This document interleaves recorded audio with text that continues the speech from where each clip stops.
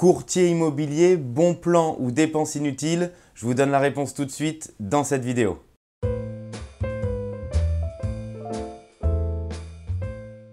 Je m'appelle Mickaël Zonta, je dirige la société investissementlocatif.com et j'accompagne des centaines d'investisseurs par an sur le marché immobilier à Paris, en région parisienne et à Lyon. Et vous me sollicitez très souvent et vous avez été nombreux sur ma chaîne YouTube à me solliciter sur le courtier.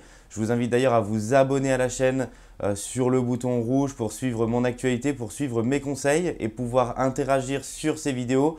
Puisque si vous souhaitez que je traite des sujets immobiliers d'actualité, si vous avez des problématiques et des questions, n'hésitez pas à les poser en commentaire afin que je puisse y répondre dans les prochaines vidéos. Vous êtes donc nombreux à me solliciter sur le courtier. Est-ce qu'il faut ou non passer par un courtier?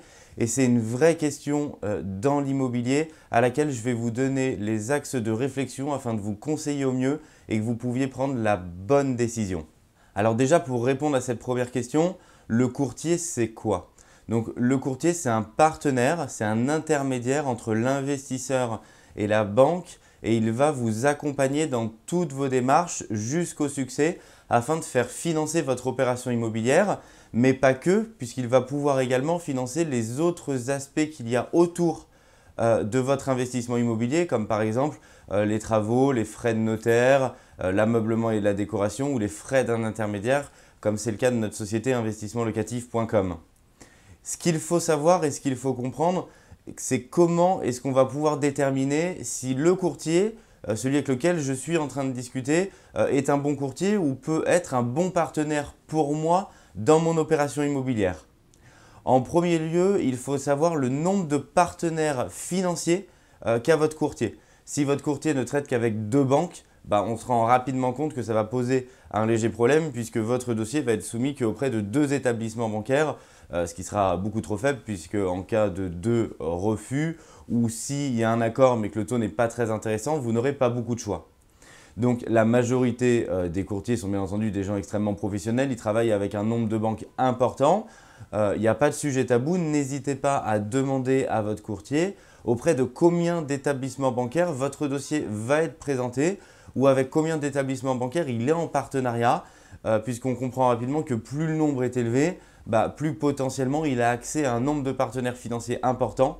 Euh, et donc votre dossier va pouvoir être mis entre un nombre de partenaires financiers le plus large possible. Donc ça rentre vraiment en ligne de compte, c'est le premier aspect à lui demander.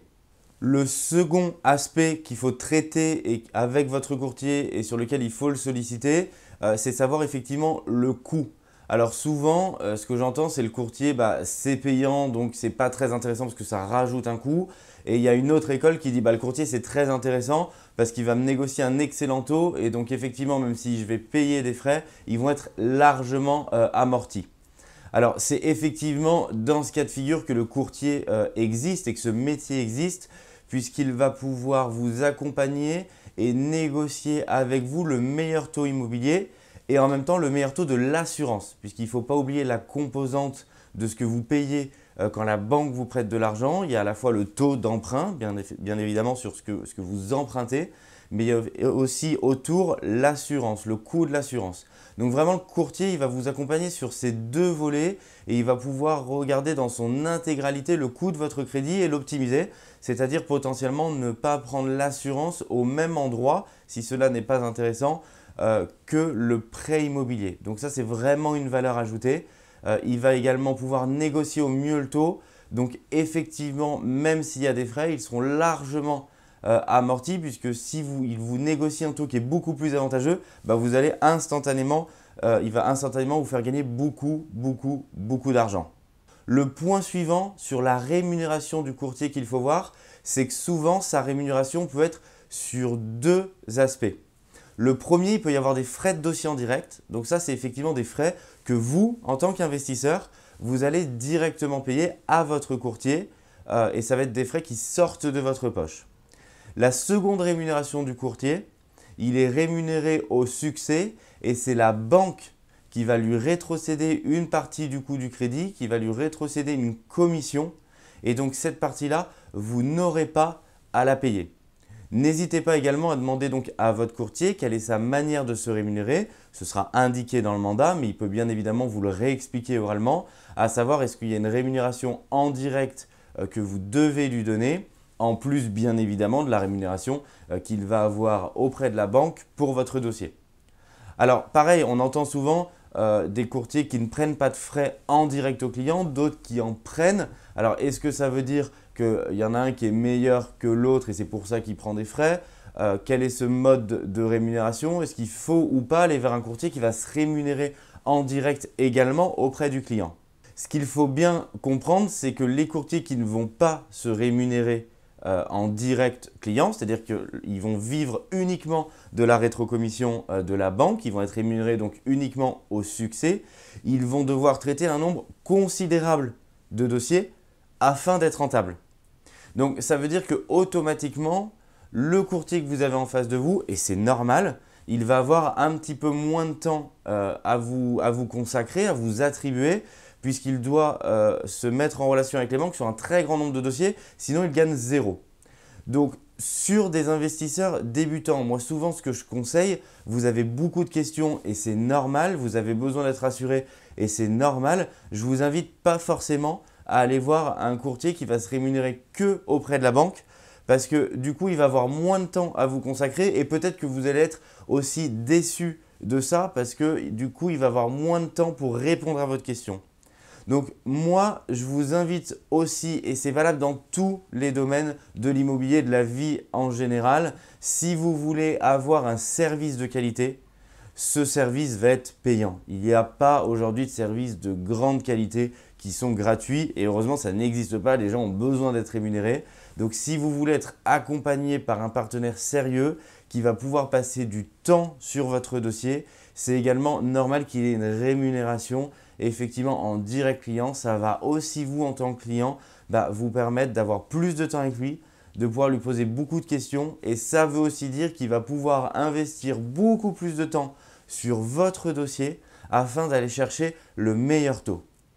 Sachez que sa rémunération en direct client, celle que vous lui devrez, elle peut être financée. L'ensemble des banques de la place vont le financer. C'est donc un coût que vous allez pouvoir lisser sur 15 ou 20 ans, la durée sur laquelle vous allez emprunter. Globalement, ce coût lissé, il est 1 dollar. Autre élément à prendre en compte, la rémunération du courtier est un coût dans votre projet. Et fiscalement, je vous invite à regarder les différentes vidéos de la chaîne YouTube. Il y a une vidéo sur la fiscalité et le LMNP. Ce coût du courtier va rentrer dans votre déficit. C'est donc moi ce que j'appelle à chaque fois de la charge intelligente puisque ça va vous permettre de repousser l'imposition et c'est un des éléments et un des postes d'investissement qui font que pendant 10 ans, vous allez payer zéro impôt sur votre investissement puisque vous allez créer un fort déficit comptable qui va vous permettre d'être dans déficit d'année en année et donc de ne pas payer d'impôt. Enfin, le dernier intérêt du courtier, c'est le temps. Chacun doit être expert dans son métier et on ne peut pas être expert dans l'intégralité des métiers.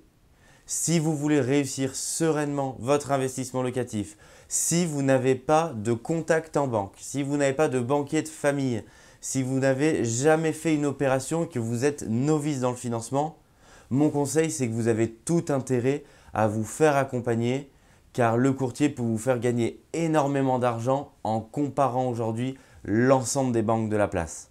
Alors courtier ou pas courtier, c'est à vous de choisir. Pensez juste qu'il peut vous faire gagner énormément d'argent si vous êtes bien accompagné. Chez Investissement Locatif, nous travaillons en partenariat avec un courtier qui finance quand nos clients le souhaitent, nos clients français mais aussi nos clients expatriés puisqu'il faut bénéficier d'une grande expertise pour financer les clients expatriés euh, puisque ce n'est pas le même mode de financement qu'un client résident fiscal français. Je suis sûr que ces conseils vous ont éclairci pour savoir si vous vous posiez la question est-ce que je dois ou non passer par le courtier.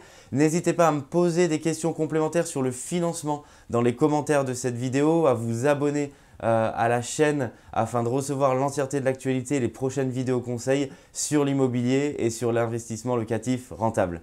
Merci, au revoir.